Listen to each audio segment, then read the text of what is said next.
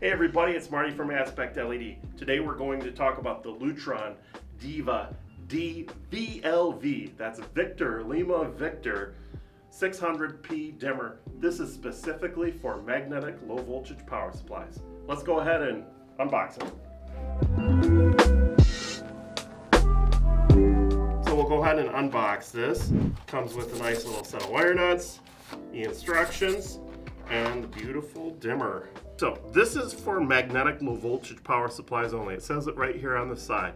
It is not for electronic low voltage. So it would not be the correct dimmer to use on like recessed lighting. Really pretty much it's for using with magnetic low voltage power supplies as associated with strip lights.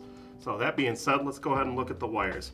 We've got a ground wire right here and there are two black wires. This is for interrupting your hot line to your light. You can put either terminal to either terminal just so that it interrupts that. Now that we've got that, let's go ahead and put it in the wall and show how it dims. All right, we have the Lutron Delta Victor Lima Victor dimmer here, which is specifically for MLV magnetic low voltage power supplies. You can turn it off and on. You can turn the brightness down with the slider right here. Like I said, this is for magnetic low voltage power supplies. If you want the same style, but you want to use it for electronic low voltage, you need to be looking at Lutron's Delta Echo Lima Victor dash 300p, which would be for electronic low voltage power supplies.